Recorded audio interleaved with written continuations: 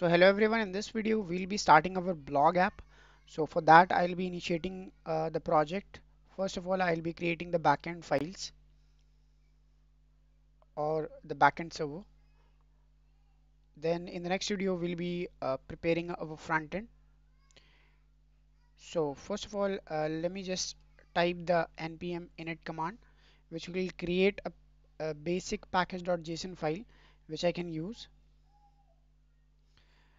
uh, instead of index.js uh, we can write server.js in which we'll be writing our server code. And we can leave all this thing as it is. As you can see this is there. Now what I will do is I will install some of the dependencies which we'll be needing in starting our backend server. First of all I'll be using express. Then I'll be using a cors and then uh, mongoose and mongodb. Let's just uh, use these packages first and later on if we'll be needing any other package so that we'll also be using.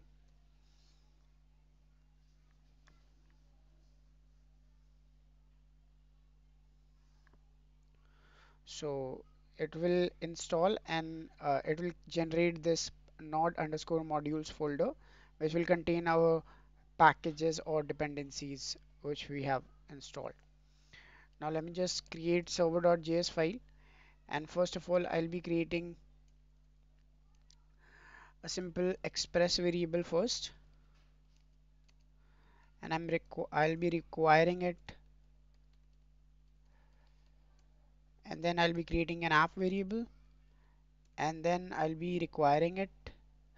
Oh sorry I'll be making use of express which will return me uh, this app variable which I can use to check whether it is working fine or not.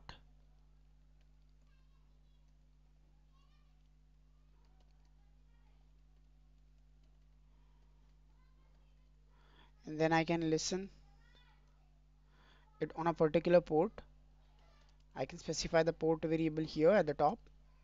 Let me just type 5000 as a port number in which uh, our backend server will be listening our request. Then I can simply log the server is listening. So this server is listening is basically will be a callback function or this will be a log basically which will be running inside this callback function after successful uh, after we have successfully started our server.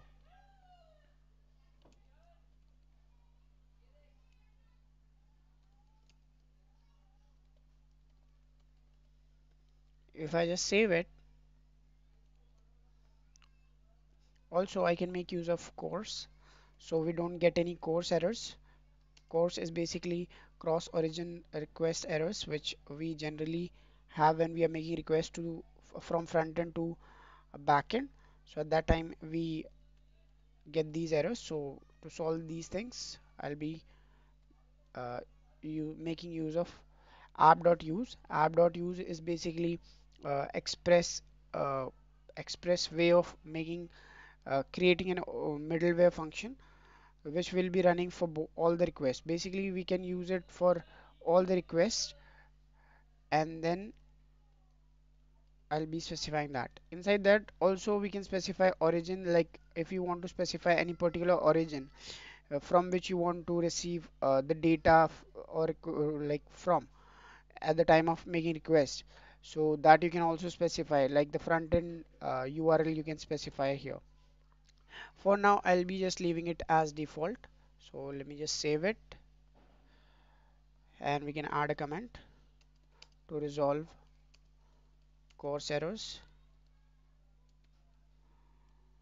So let me just save it. And now what I can do is I can simply uh, go to package.json file. And here I can simply specify the start command. Here I'll just uh, type node server.js and if I type npm start this will run uh, node server.js command.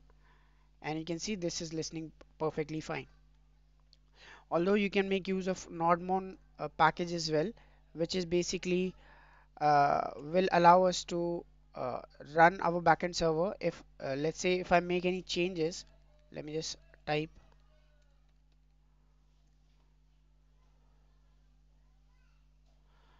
so you can see this is running. Let me just go to localhost 5000 and show you that. You can see I'm getting success request. Let's say instead of success I'm uh, I want to change this to server is listening. So I made a change in server.js file right? But uh, after making change it will still give me success message you can see. It is giving me the previous success message which were added. So because of uh, that uh, we have to restart because of this change we have to restart uh, our server. So this change is reflected on our server.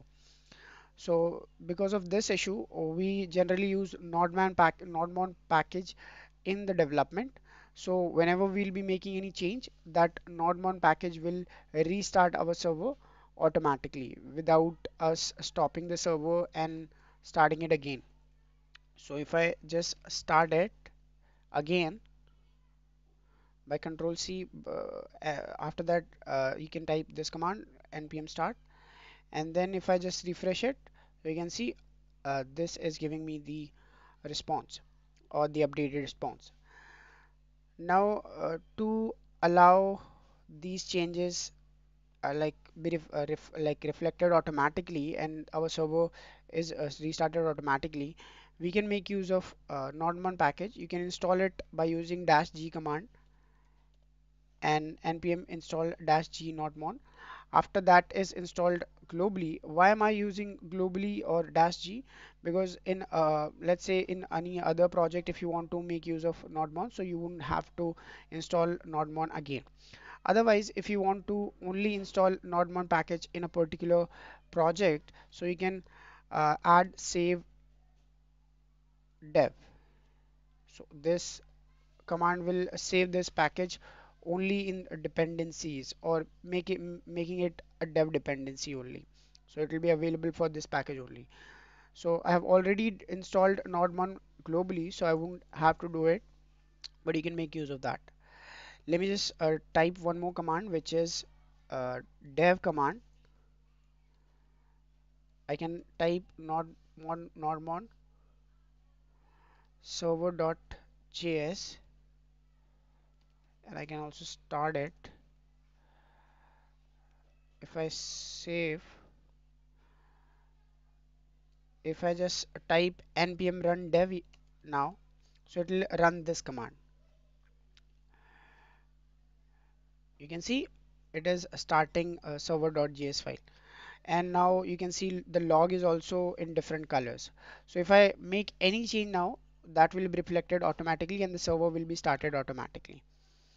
And let's say if I just type uh, this server is server started on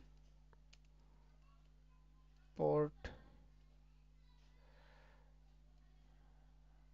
and port let's say if I do that. So you can see whenever I'm making any change and saving the file. So it is automatically restarting uh, my uh, server.js file or the backend server.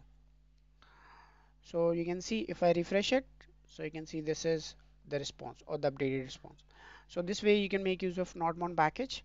So the the basic uh, thing we have completed uh, this bare bone of our backend server let's uh, do the similar thing in the front end as well and then we'll be starting our blog app.